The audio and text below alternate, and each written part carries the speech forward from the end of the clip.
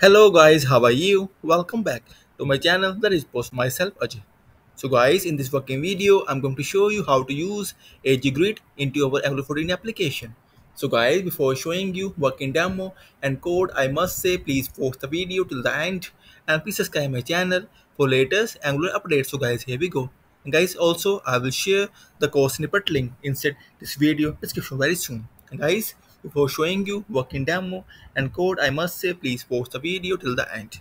So guys, here we go. So first you will see AgGrid is working fine. See guys, Angular 14 with AgGrid and with search filters. See guys, just brilliant. We can filter with name with and or or.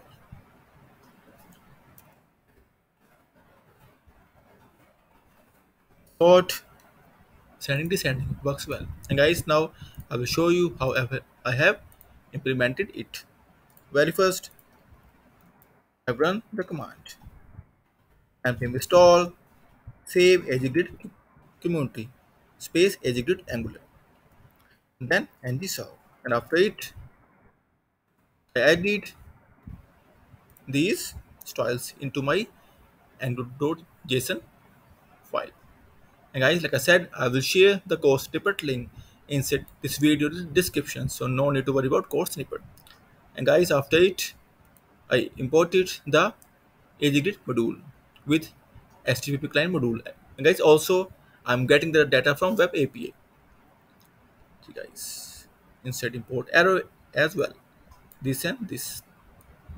And guys, after it, inside my app.component.ts file called HTTP client. Then is my AgGrid columns. Header, fields, sortable true, true, true, and filterable true, true, true. And then insert constructor, I call my HTTP client as HTTP property. Here is my variable. Insert it. I will save my web API data. And here I'm calling the web API hey guys here is my web api url and totally free. And here is my AgGrid AgGrid angular inside it. I'm calling row data with columns and working fine you can see.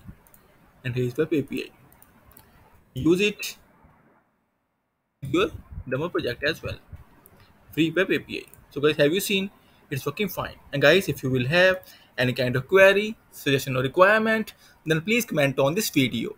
Also, please contact me via my blog. I will share all the details inside this video description. Friends, in the end, I must say thank you for watching this video. Thank you. Have a nice day. Take care. Bye-bye.